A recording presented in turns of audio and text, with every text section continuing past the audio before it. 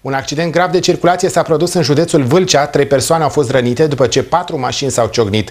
Totul după ce un șofer nu a păstrat o distanță regulamentară în trafic.